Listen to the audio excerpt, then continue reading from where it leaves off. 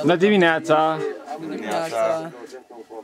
pentru care ea n-a mai continuat Neața. să concureze, mai ales după examenul medical efectuat, s-a decis de către medici o pauză de două zile.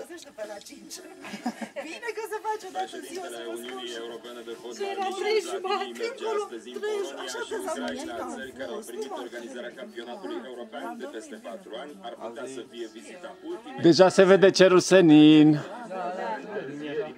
În construirea stadionelor și a facilităților.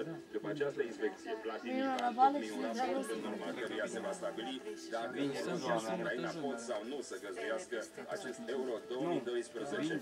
Ziua internațională a reporterului sportiv se întâmplă să fie astăzi. El nu împlinește nicio vârstă pentru că nu are, după cum nici foarte multă liniște, nu are unul dintre cei mai neliniștiți reporteri sportivi pe